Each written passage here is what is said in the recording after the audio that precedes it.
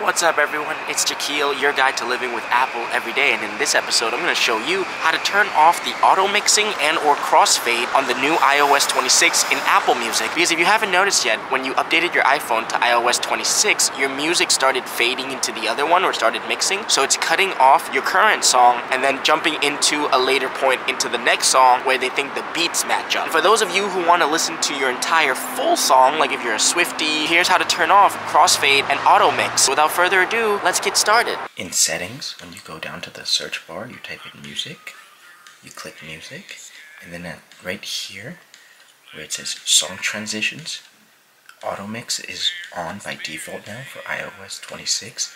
You turn it off, and that's it. Now in theory, your songs See, they don't mix. So really, I don't think this button does anything. I haven't looked into what this button is at all, but I only do it via this settings right here, via this song trans. Oh, it turned it back on. So if I turn it off, it's off. Okay, so yes, that button is song transitions over there, and then song transitions over here in settings. So you have the two ways. Make sure you subscribe for more iPhone tips.